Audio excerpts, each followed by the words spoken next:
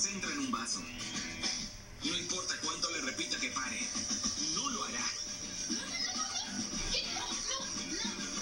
Lo siento, ¿me hablabas? Porque estoy ocupado con esto, así que no pierdas el tiempo.